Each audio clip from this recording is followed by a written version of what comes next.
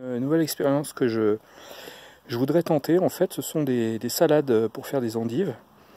Je les ai complètement oubliées dans le jardin. En fait, je m'en suis pas du tout occupé parce qu'elles étaient sur ma butte de permaculture au départ. Je les avais mis dans des petits pots pour bah, essayer de les sauvegarder et faire quelque chose plus tard.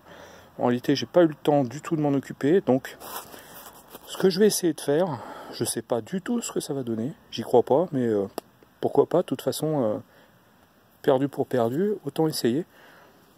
Donc euh, je vais positionner en fait un maximum de, ces salades en les coupant, euh, coupant les feuilles vertes, euh, en les positionnant dans ce pot, bah, qui est vraiment pas grand en fait, c'est le plus grand pot qui me reste, donc c'est pas grave, je vais les serrer un max.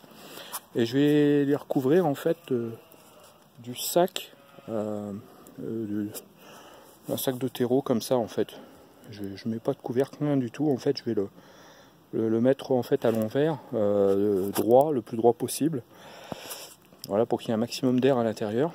Et je vais positionner ça dans mon garage, donc pour voir un petit peu euh, euh, ce que ça donne. je sais pas, il doit faire aller 400 degrés maximum dans mon garage. il est isolé, donc voilà, on va voir ce que ça donne. Et euh, on verra bien. Honnêtement, j'y crois absolument pas. Mais euh, en plus, le terreau, je crois que c'est un terreau pour, euh, pour les, les hortensias, je crois. Je sais plus ce que c'est. Bon, bon, peu importe. En fait, c'est un terreau que, qui me restait. Alors, c'est sans conviction aucune. Donc, je vais couper, je vais couper les, les salades. Là, je vais couper les racines un petit peu et puis je vais, je vais mettre ça là-dedans. On va voir ce que ça donne. On va essayer de les forcer et de voir si on obtient des endives. Alors là, c'est vraiment euh, l'inconnu total. J'ai aucune, euh, aucun espoir, mais j'essaye quand même. Voilà. J'ai recoupé mes, mes racines. Donc maintenant, je vais les planter dans mon pot. J'ai terminé mon rempotage. Donc j'ai mon sac à côté. Je vais l'enfiler le, à l'envers et vous allez voir. Donc euh, j'ai recouvert le seau, enfin le pot pardon.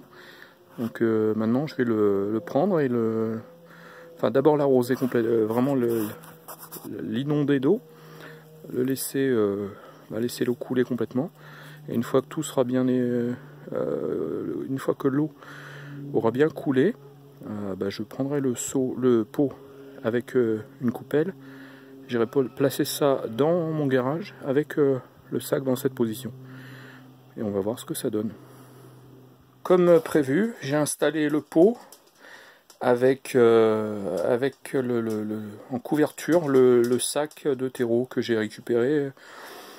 Donc euh, on, va voir en fait ce que ça donne. J'avoue que je j'ai euh, pas vraiment d'espoir sur le résultat, mais bon, de toute façon, perdu pour perdu, il vaut mieux tester quoi. Enfin, je, voulais en faire cette année, j'ai pas eu le temps euh, de m'en occuper sérieusement, donc bien sûr je m'y prendrai bien mieux que ça l'année prochaine.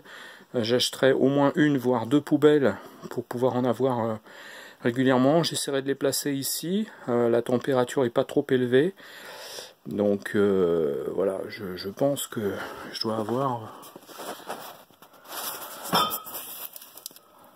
voilà j'ai 8,3 euh, donc euh, je sais pas du tout je sais pas du tout si c'est suffisant euh, trop je sais pas.